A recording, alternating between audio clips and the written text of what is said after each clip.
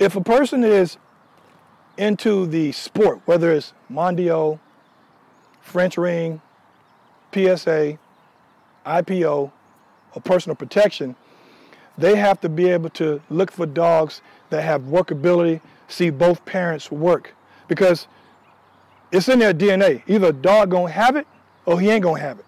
He either gonna ball or fall, one or the other, right? So when you're looking for a working, a working dog, look at the working, make sure they have pedigree that goes back two generations at least. And make sure they have some kind of working titles or demonstration of working titles